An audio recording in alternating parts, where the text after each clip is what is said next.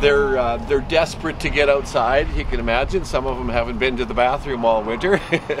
Bees are beginning to come out for the spring, but one beekeeper is concerned about overwinter fatalities.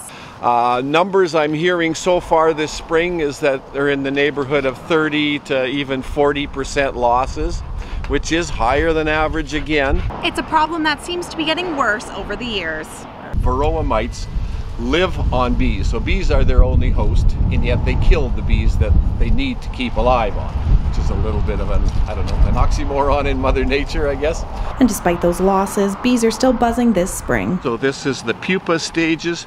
Just before there'll be bees hatching out in this one within, I would say, about 10 days, which is a great sign because yeah. every 10 bees that hatch out now can mean an extra 100 or 200 bees when it's time for pollination and honey production and that.